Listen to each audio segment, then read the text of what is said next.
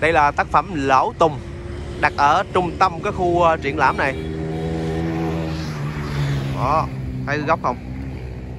Đúng là Lão Tùng mà. Ồ oh, rồi. Người người dân người ta đã tạo lên cái dáng thế nhìn đẹp mắt mà nó hoành tráng luôn. Đã đợi Lão Tùng. Nhìn đáo rồi tác phẩm Lão Tùng. Ừ. Dạ đặt ở đây chắc là thấy hấp dẫn à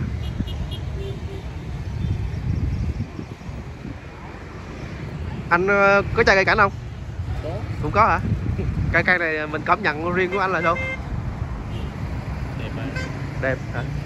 Nhìn thấy nó dáng cây nó mình trống vậy đó. Lâu lâu